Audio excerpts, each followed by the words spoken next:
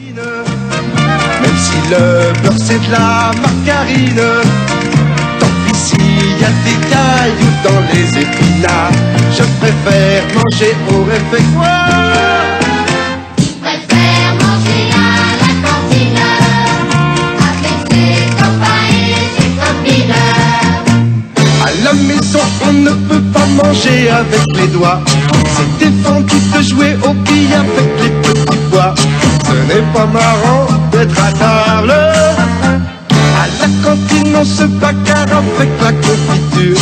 On s'en met plein les mains, plein les tapis, plein la figure.